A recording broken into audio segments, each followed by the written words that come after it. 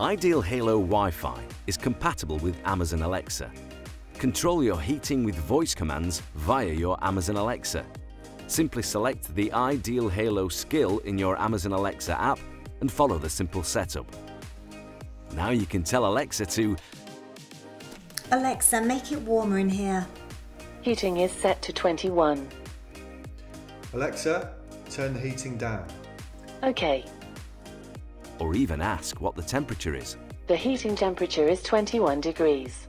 For further guidance on using the Ideal Halo and app, see the other how-to videos available online.